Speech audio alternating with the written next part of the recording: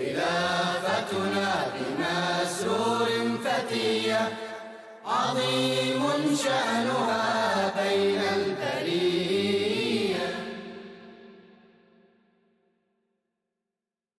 Assalamu alaikum wa rahmatullahi wa barakatuhu, and welcome to another episode of Beacon of Guidance. This series is a compilation of questions and answers given by Hazrat Amir al Mu'mineen Ayyadahullah Ta'ala bin Nasrih Aziz. These are from various virtual mulaqats from Ahmadis all over the world. Let's start our program with the very first question. His Holiness Hazrat Khalifatul Masih V Ayyadahullah Ta'ala bin Nasrih Aziz presided over a virtual mulaqat with Nasirat from Germany on the 22nd of January 2023, in which a Nasirat member asked, What should I do when non-Muslim girls in school dislike me wearing the headscarf? Let's take a look at what Hazur said. میرا سوال ہے میری class کی غیر مسلم بچیاں میرا دوپٹہ لینا پسند نہیں کرتی؟ اگر وہ مجھے فرینڈ نہیں بناتی بتائیں ایسا میں کیا کروں؟ دیکھو ہر ایک کی اپنی اپنی پسند ہوتی ہے۔ مذہب کو چھوڑو ایک طرف۔ پہلی بات ان سے یہ کرو مذہب تو ایک طرف رہا۔ میں مسلمان ہوں تم عیسائی ہو یا تم خدا کو مانتی ہو کہ نہیں مانتی یا کوئی مذہب نہیں ہے تمہارا، لیکن اس کو چھوڑو۔ اب تم نے اسکرٹ پہنی ہوئی ہے یا فراک پہنی ہوئی ہے یا منی اسکرٹ پہنی ہوئی ہے، تمہاری اپنی مرضی ہے۔ ٹھیک ہے، تم اس کو اچھا سمجھتی ہو، تم نے پہن لیا۔ اب جس چیز کو میں اچھا سمجھتی ہوں، میں نے پہن لیا۔ اب یہ تو کوئی اعتراض کی بات نہیں نا۔ تمہاری عمر کی لڑکیاں ہی ہوں گی نا۔ ان کو سمجھاؤ، دیکھو۔ جو تمہیں اچھی چیز لگتی تم پہنتی ہو، جو مجھے اچھی چیز میں پہنتی ہوں۔ اچھا لگنے کے علاوہ ان سے کہو۔ کہ میں ایک مذہب کو ماننے والی لڑکی ہوں، اسلام کو ماننے والی لڑکی ہوں، اور اسلام میں ایک ڈریس کوڈ بھی ہے لڑکیوں کے لیے۔ ابھی تو تم بارہ سال سے کم ہو، تمہارے اوپر پردہ اور حجاب تو لازمی نہیں ہے۔ جب تم جوان ہو جاؤ، تب وہ پردہ اور حجاب لازمی ہوتا ہے۔ تیرہ، چودہ، پندرہ سال کی عمر میں۔ لیکن ابھی تم کم از کم سر ڈھانکنا ہے، آ کا اظہار کرنا ہے لڑکیوں کو چاہیے کہ حیا کا اظہار کریں اسکارف لے لیا کرو، دوپٹہ نہ بھی پہننا ہو تو اسکارف لے لیا۔ اگر ان کو اعتراض ہے تم اسکارف پہن کے چلی جایا کرو۔ باقی مسجد میں آتی ہے دوپٹہ لے لیا کرو۔ اسکول میں نہ دوپٹہ لیا کرو اسکارف پہن لیا کرو، لیکن ان سے کہو، میں تمہارے سے ڈر کے یا تمہاری پسند کی وجہ سے نہیں کر رہی۔ تمہیں تم پسند ہے، جو تم کرتی ہو کام۔ جو مجھے پسند ہے، وہ میں کام کرتی ہوں۔ اس میں لڑنے کی اور جھگڑنے کی اور برا منانے کی ضرورت کیا ہے؟ ان سے کہو ہم انسان ہیں ہمیں آپس میں محبت اور پیار سے رہنا چاہیے۔ یہ نہیں دیکھنا چاہیے کس نے کیا لباس پہنا ہوا ہے۔ یہ دیکھنا چاہیے کہ ہمارا دل کتنا صاف ہے۔ ہم کتنا ایک دوسرے کا خیال رکھتے ہیں۔ ہم کس طرح ایک دوسرے کے جذبات کا خیال رکھتے ہیں۔ ہم کس طرح ایک دوسرے کی خدمت کرنے کے لیے تیار ہیں۔ یہ اصل چیز ہے۔ یہ انسان کا کام ہے۔ باقی دوپٹہ لینا یا نہ لینا، یہ باقی باتیں ہیں۔ اور یہ پہلے انسانی باتیں بتا کے پھر بتاؤ کہ ہاں ایک زائد چیز بھی ہے جس کی میں نے پابندی بھی کرنی ہے اور وہ میرا مذہب ہے۔ جب میں بڑی ہوں گی، جوان ہوں گی تو پھر مجھے یہی حکم ہے کہ میں دوپٹہ بھی لوں، سر پہ حجاب پہنوں اور اپنا لباس کو حیادار رکھوں اور ایک پردے کا جو کم از کم معیار ہے، اس کو قائم رکھنے کی کوشش کروں۔ For our second question, Hazrat Amirul Mu'mineen Ayyadahullah Ta'ala bin Nasrihil Aziz presided over a virtual mulaqat connecting with members of Lajna Imaillah from Italy on the 14th of May 2023. A member of the Lajna posed the following question. Should we file a complaint against an Ahmadi who is a hypocrite or leave the matter to Allah? Let's look at what Hazur said. मेरा सवाल ये है कि सूरतुल मुनाफिकून का सबब नज़ुल क्या है اور اگر ہم کسی شخص میں منافقت محسوس کریں جو احمدی تو ہو، لیکن جماعت اور اس کے بانی کی بیزتی کرتا ہو، بے باتیں بھی کرے اور شک کرتا ہو کہ جماعت سچی ہے یا نہیں، اور اس کے بات کرنے کے انداز سے محسوس ہوتا ہو کہ وہ نہ تو یہاں کا ہے اور نہ وہاں کا۔ اور جماعت سے خود نکلنے کی جرت بھی نہ ہو۔ کیا ہمیں چاہیے کہ ہم ان کی شکایت جماعت کو کریں یا پھر ان کا معاملہ خدا پر چھوڑ دیں۔ جزاک اللہ حضور۔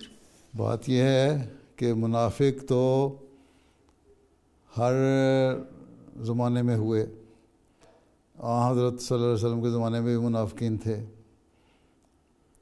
اور منافقوں کا سردار عبداللہ بن ابئی بن سلول تھا۔ آن حضرت صلی اللہ علیہ وسلم کو پتہ ہونے کے باوجود اس کے منافقت کو صرف نظر فرماتے رہے۔ اللہ تعالیٰ نے یہ فرما دیا۔ کہ یہ منافق ہے۔ اور یہ بھی فرما دیا اس کے مرنے پر کہ چیک جس کے لیے مرضی مغفرت کی دعا مانگو، قبول نہیں ہوگی۔ تو منافقوں کے بارے میں اللہ تعالیٰ نے فرمایا کہ وہ جہنم کے سب سے نچلے درجے میں ہوں گے۔ تو یہ منافقت تو ہر زمانے میں رہی اور اب بھی بعض لوگ ایسے ہیں، لیکن منافق کہتے ہی اس کو ہیں جس میں کھل کے اپنے اظہار کی ضرورت نہ ہو۔ وہ سامنے سامنے کچھ کہتا ہو۔ جماعتی عہدیداروں سے جو مخلصین سے ملے تو اور اس کا نظریہ ہو جماعت کے بارے میں یا خلافت کے بارے میں۔ لیکن جب وہ بیٹھا ہو اپنے دوستوں اور ہم خیالوں کے ساتھ تو وہ مختلف باتیں کرے۔ تو ایسے لوگ اگر تو ظاہر ہو جاتے ہیں اور پھر بھی جماعت ان سے صرف نظر کرتی ہے۔ تو صرف اس لیے کہ شاید ان کی تربیت ہو جائے، کوشش کی جاتی ہے کہ ان کی تربیت ہو جائے۔ لیکن جب دیکھا جاتا ہے کہ ان کے بگاڑ سے جماعت میں زیادہ فتنہ پیدا ہو رہا ہے اور بے چینی پیدا ہو رہی ہے، تو پھر ان کو سزا دے کے ان کو نکالا بھی جاتا ہے جماعت سے۔ ہاں اگر کوئی ایسا ہے جس کے بارے میں جماعت کو نہیں پتہ اور وہ ایسی باتیں کر رہا ہے اور اس کسی کے علم میں آ رہی ہے جماعت سے اخلاص کا تقاضا تو یہی ہے کہ اس کے بارے میں بتایا جائے کہ یہ شخص ایسی باتیں کر رہا ہے، پھر اس کو بلا کے اس سے تحقیق بھی کر لی جائے گی، پوچھا بھی جائے گا، اس پہ نظر بھی رکھی جائے گی۔ اور اگر وہ پھر بھی اپنی ایسی باتیں جاری رکھتا ہے، تو پھر اس کے خلاف جو جماعتی نظام ہے، وہ کارروائی بھی کرتا ہے اور کرے گا۔ For our third question, which is from a virtual mulaqat with university graduates from Germany on the 28th of May 2023, a graduate asked Beloved Hazur, what qualities should a teacher try to instill into their students to help them recognize the message of God? मेरा सवाल है कि एक teacher को अपने students में ऐसी कौन सी खसूसियात और ख़ूबियाँ पैदा करने की कोशिश करनी चाहिए जिससे वो स्टूडेंट्स अल्लाह ताला के पैगाम को पहचान सकें? अपना अमल اپنا نمونہ دکھاؤ اور اپنا مثال اگر قائم کرو، اپنے تجربات بیان کریں کہ اللہ تعالیٰ سے آپ کا کیا پرسنل ایکسپیرینس ہے۔ کبھی کبھی جو کیجول گفتگو ہوتی ہے اسٹوڈنٹس میں بیٹھ کے، وہاں نارمل ڈسکشن میں باتوں باتوں میں بیان کر دیا کیا ایکسپیرینس ہے، یا لیکچر دیتے ہوئے بعض ایکسپیرینس بعض دفعہ آتا ہے، کوئی مثال دینی پڑتی ہے۔ تو ایسی مثال دی جن کو خیال پیدا ہو لڑکوں کو کہ ہاں خدا تعالیٰ بھی ہے۔ اور پھر وہ ان کی بھی توجہ آہستہ آہستہ اس طرف ہوتی ہے کیونکہ عموماً تو آپ کے اسٹوڈنٹ جو ہیں تقریباً سیکنڈری اسکول میں پڑھاتی ہیں؟ جی حضور۔ تو ساٹھ ستر فیصد اسٹوڈنٹ تو ویسے ہی انڈیفرنٹ ہیں مذہب کے معاملے میں۔ وہ کہتے ہیں ہاں جی. جب بڑے ہوں گے نا ہم اماں ابا کی عمر کو پہنچیں گے تو دیکھیں گے مذہب کیا چیز ہے سوچیں گے۔ ابھی تو کوئی تعلق ہی کوئی نہیں ان کو مذہب سے۔ تو جب مذہب سے تعلق نہیں، نہ خدا سے تعلق ہے ان کا کوئی۔ اور کچھ جو لوگ ہیں، وہ اگر مانتے بھی ہیں مذہب کو اور خدا کو، تو وہ کبھی کبھی اتنے ریگولر پریکٹسنگ مذہبی لوگ نہیں ہیں۔ خاص طور پہ جب عمر چودہ، پندرہ، سولہ سال کی عمر ہوتی ہے، اس میں خاص طور پہ ایک چینج آ رہا ہوتا ہے ماحول دیکھ کے بھی۔ تو اس میں یہی ہے کہ اپنے تجربات جو ہیں پرسنل تجربات اگر کسی کو ہوں، وہ بیان کرے تو اس سے لوگوں کا انٹرسٹ ڈیولپ ہوتا ہے۔ ٹھیک ہے؟ تو اس کے لیے یہی ہے کہ آپ پہلے اپنا خود اللہ سے تعلق پیدا کریں پھر باقیوں میں بھی کہانی کہانی میں بتا کے کریٹ کر سکتی ہیں انٹرسٹ ٹھیک ہے نا جی جی جزاک اللہ ساری ذمہ داری آپ پہ پڑ گئی For our fourth question, we will turn to Canada, where Hazrat Khalifatul Masih V, Ayyadahullah Ta'ala bin Nasrahil Aziz, chaired a virtual mulaqat with Waqfirat Noor members on the 11th of June 2023. A member asked Beloved Hazur, what is the significance of rukhsati in Islam and why individuals are instructed not to meet their spouse alone after their nikah? Let's take a look at Hazur's response. My question is, what is the significance of rukhsati in Islam and why are we often instructed not to meet our spouse alone after the nikah and prior to the rukhsati? बात तुम्हारी ठीक है तुम बिल्कुल ठीक कह रही हो कि इस्लाम तो निकाह का कहता है رخصتی تو ہماری ٹریڈیشنل جو شادیاں ہیں وہ ہیں۔ ونس نکاح از پرفارمڈ تم آزاد ہو، میاں بیوی بن گئے۔ اسلامی پوائنٹ آف ویو سے میاں بیوی بن گئے۔ اب چاہے رخصتی کرو یا مسجد سے نکاح کے بعد خامن یا لڑکا، لڑکی کا ہاتھ پکڑے اور اپنے گھر لے جائے۔ ہیں؟ کوئی ماں باپ کو حق نہیں پہنچتا کہ اس کو روکیں۔ تم بات ٹھیک کر رہی ہو۔ ہاں کیونکہ ہماری روایتیں ہیں ایسی۔ اور ہم انفلوئنس ہو گئے بہت سارے انڈو پاکستان میں رہنے والے۔ انڈین کلچر سے ہندو کلچر سے، یا وہاں کی ٹریڈیشنل کلچر جو تھا اس سے۔ اس لیے ہمارے یہاں رخصتیوں وغیرہ کا خاص اہتمام ہونے لگ گیا کہ جی رخصتی ہونی ہے۔ ادروائز نکاح جو ہے وہی اصل چیز ہے۔ اور بہتر طریقہ بھی یہی ہے کہ بجائے شادیوں پہ خرچ کرنے کے، اول تو نکاح سے پہلے ایک منگنی کا فنکشن ہوتا ہے، اس پہ جی ہم نے انگوٹھی پہنانی ہے، ٹھیک؟ اس پہ ایک دھوما دھوم اور دعوت شاوت ہوتی ہے، پیسے ضائع کیے جاتے ہیں۔ پھر نکاح ہوتا ہے، پھر نکاح کا فنکشن کرتے ایک اور پیسوں کا خرچہ، ٹھیک؟ پھر نکاح ہو جائے تو اس کے بعد پھر کہتے ہیں جی شادی ہونی ہے اب شادی ہو جائے گا چلو ٹھیک ہے، شادی سے دو دن پہلے، ایک دن پہلے پھر مہندی کی رسمیں ہوتی ہیں ہیں؟ وہ مہندیاں جب تک نہ لگیں، دعوتیں نہ ہوں، ڈھول ڈھمکے نہ ہوں، گانے بجانے جہاں ہوں، دو سو آدمیوں کا دعوت نہ ہو، اس وقت تک تسلی نہیں ہوتی، لڑکے والوں کی اور لڑکی والوں کی کہ نہیں جی مزہ نہیں آیا، ہیں؟ تو مزہ، یہ بات نہیں، پھر اس کے بعد شادی ہوتی ہے، پھر شادی پہ خرچ کرتے ہو۔ تو ایک فنکشن کے لیے تم لوگ چار فنکشن کرتے ہو، ہیں؟ حالانکہ اسلامی طریقہ یہی ہے جو تم کہہ رہی ہو کہ نکاح ہو گیا تو رخصتی ہو جائے۔ اور سادہ طریقہ یہی ہے، اس سے پیسے جو بچتے ہیں وہ بہتر ہے، کسی غریب کی شادی کے اوپر خرچ کر دو۔ مجھے اتنے فنکشن کرنے کے۔ تو سادگی سے رخصتی ہونی چاہیے۔ آ، حضرت صلی اللہ علیہ وسلم کے زمانے میں سادگی سے رخصتی ہوا کرتی تھی، بلکہ بعض صحابہ کی شادی ہو جاتی تھی، تو آ حضرت صلی اللہ علیہ وسلم کے علم میں بھی نہیں آتا تھا کہ اس کی شادی ہو گئی ہے۔ ایک دفعہ ایک صحابی کو آپ نے دیکھا، اس کے کپڑوں پہ رنگ لگا ہوا تھا، آپ نے کہا، لگتا ہے تمہاری شادی ہو گئی ہے۔ اس نے کہا ہاں جی کل یا پرسوں میری شادی ہوئی ہے۔ نکاح ہوا تھا گھر میں اور وہیں میں شادی ہو گئی، رخصتی ہو گئی۔ تو آپ نے کہا اچھا ٹھیک ہے، بڑی اچھا ہوا، مبارک ہو، لیکن جا کے ولیمہ جو ہے نا، وہ ضروری ہے۔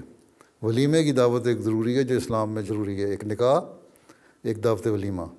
تو ولیمہ کرو چاہے ایک بکری کا ولیمہ کرو۔ تو جی۔ یہ چیزیں ضروری ہیں۔ ہم میں اگر اتنی ہمت ہے تمہیں تو لڑائی کرو زمانے سے اپنے گھر والوں سے اور نکاح کے بعد رخصتی کروا لو۔ بس پھر جب شادی ہوگی تو پھر اسٹینڈ لے لینا۔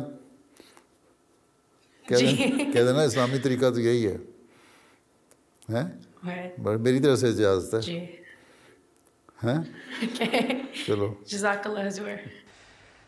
We now turn to the fifth question within this segment. In the same virtual mulaqat, Abaqfat Noor asked beloved Hazur, how can we strengthen our bond with Allah and maintain steadfastness during stressful times? मेरा सवाल है sometimes when there are very stressful moments in life, it feels like Allah may be testing us. Or I find myself distracted and not focusing well on my prayers. What is beloved Hazur's advice so that we can strengthen our bond with Alamia and maintain steadfastness during stressful times?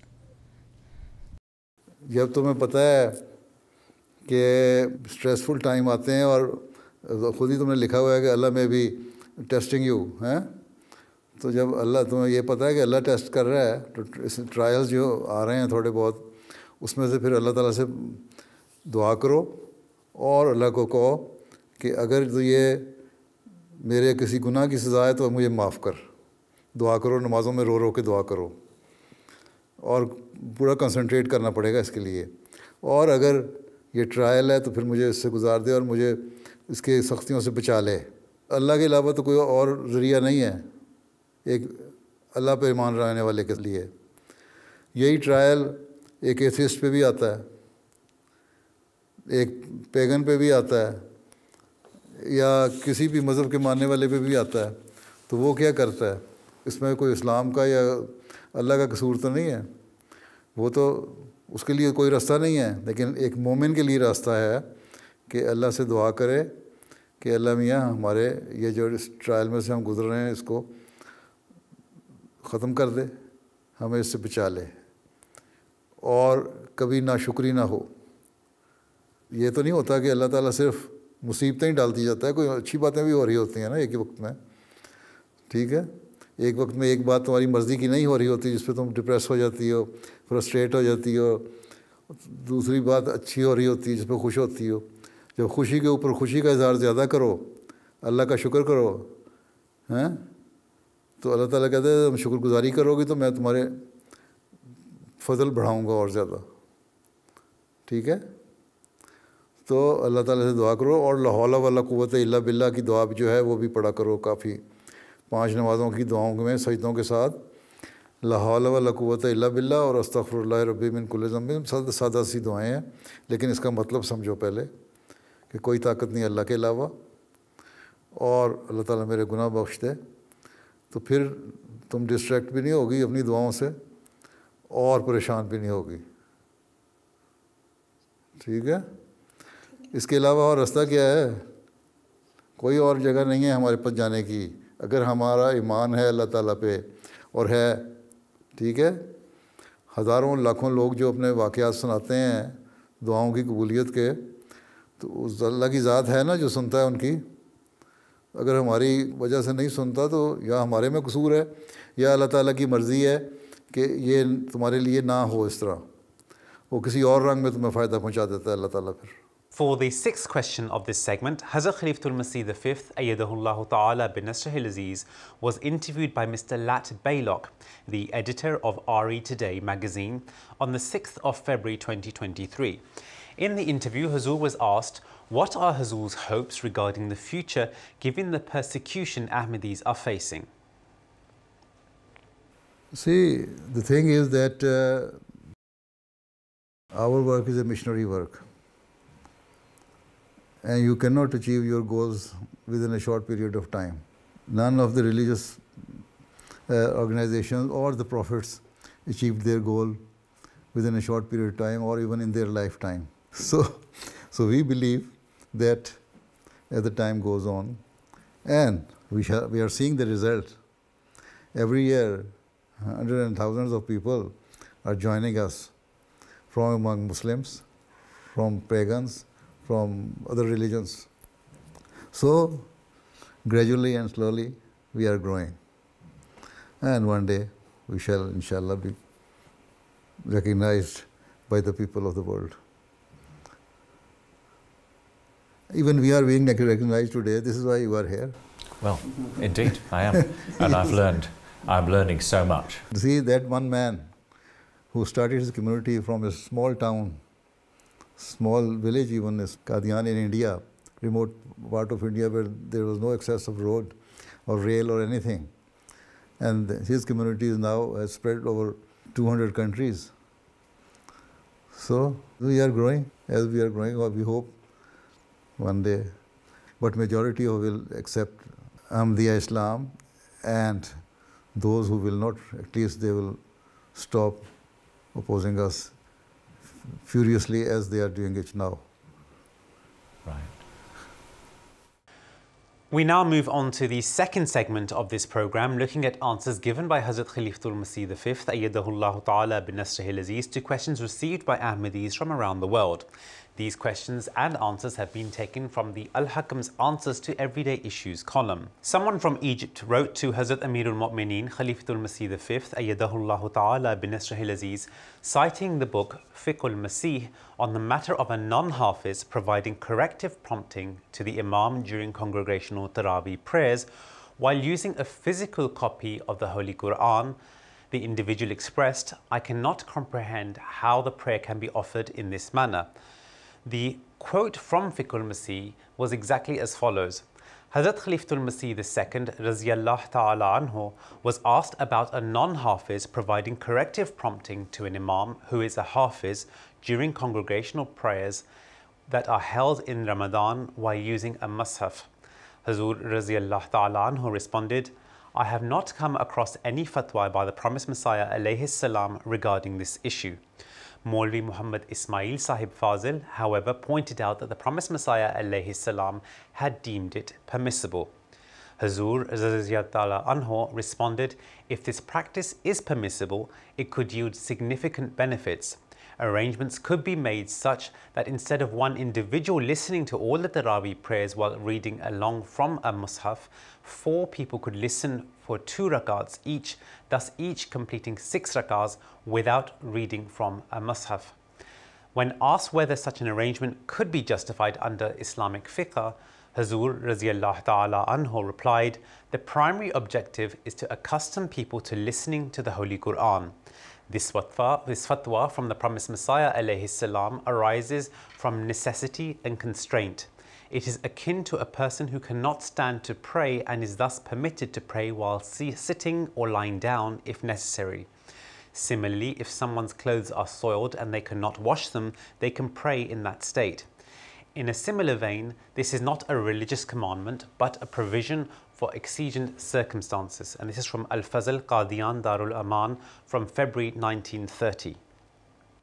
During prayers, it is a common practice that if the Imam forgets or makes an error in the recitation of the Holy Quran, a congregant, Muqtadi, who recalls that particular portion of the Holy Quran can prompt the Imam or rectify the error. However, it is not permissible for a muqtadi to prompt the imam while looking at a physical copy of the Holy Quran.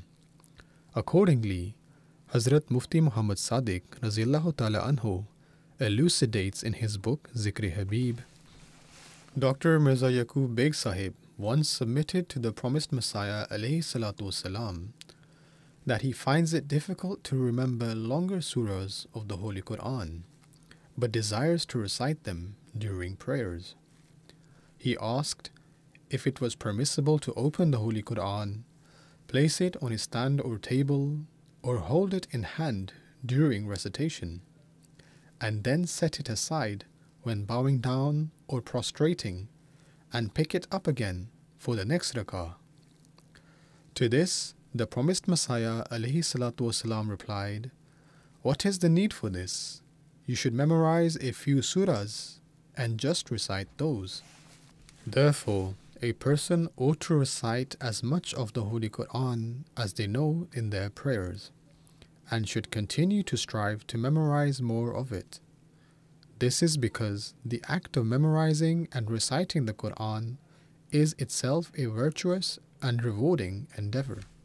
This is precisely why, during the Khilafat of Hazrat Khalifatul Masih III, Rahimullah alayhi, when this issue was presented in the Majlis Ifta, Hazur Rahimullah alayhi ruled on the 17th of June 1971, stating, It is not preferable, mustahab, to read from a physical copy of the Holy Quran even during supererogatory prayers, nawafil. Furthermore, by allowing this, the objective of prompting Quranic memorization would be compromised. Therefore, it is undesirable to adopt this method. In the books of Hadith and Fiqh, there are some reports from the companions, Athar, that indicate that certain honorable companions, including Hazrat Uthman, Hazrat Anas, and Hazrat Aisha, alayhim, when performing nawafil, would have someone with a copy of the Quran sit next to them. If they forgot something, this person would prompt them, or they would offer nawafil behind an imam who would lead them while reading from a mushaf. Among the four jurists, Imam Abu Hanifa's stance is that reading from a physical copy of the Holy Quran during prayer invalidates the prayer. However, according to Imam Shafi and one of Imam Ahmad's opinions, the prayer does not become void. In contrast, according to another viewpoint of both Imam Malik and Imam Ahmad, such an action is permissible in nafil prayer, but not in obligatory prayers. While commenting on these athar and the views of the jurists, Hazrat Khalifatul Masih IV Rahimullah alayhi stated, As far as the issue of a person offering salat, qari, and another person, sam'i, reading from a mushaf during prayer and the sam'i then prompting from it is concerned, in my opinion, only Imam Abu Hanifa's viewpoint is correct, i.e., such an action invalidates the prayer. The examples that have been given, such as Hazrat Aisha anha's servant Zakwan, leading her in prayer while reading from a mushaf, are not a hadith, but athar. These are not such athar based on which the permissibility of this practice can be established on the authority of the Holy Prophet sallallahu alaihi wasallam. The authority of a athar in such important religious matters is not the same as that of hadith. Likewise, Hazrat Khalifatul Masih IV rahimullah alayhi, while drawing attention to the rectification of these issues mentioned in the book Fiqh Ahmadiyya, issued the following directives to his private secretary stating, Please send this page of Fiqh Ahmadiyya to Rabwa for review and ask how these reports became acceptable. They are entirely nonsensical. In those times, the Quran did not exist in the form we have before us today. Instead, it was written on stones, skins, leaves, and the bark of trees. Would they keep stones and skins, among other things, in the mosque to provide corrective prompting? These assertions are such that they cannot be accepted under any circumstances. Such outrageous notions have somehow found their way into our jurisprudence. Hence, a thorough re-evaluation is required. Further illuminating this matter, Hazrat Khalifatul Masih IV rahimullah alayh stated, There is no justification for prompting by reading from a physical copy of the Holy Quran during prayers. This practice neither existed during the time of the Holy Prophet sallallahu alaihi wasallam nor during the era of the rightly guided caliphs. If an imam made a mistake and someone from the congregation remembered the correct version, or else it was considered forgivable in the sight of God. Thus, my stance on this matter is that one should recite as much of the Holy Quran during prayers as one remembers and strive to memorize more of it. However, if one is in such a predicament that they do not recall any part of the Holy Quran, which denotes a state of utmost necessity, and such extreme necessity does not commonly occur, under these circumstances, one can temporarily make use of the tradition attributed to the promised Messiah wasalam.